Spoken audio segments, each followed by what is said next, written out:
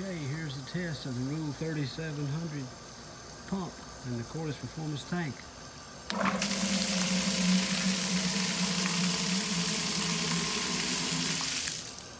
Amazing.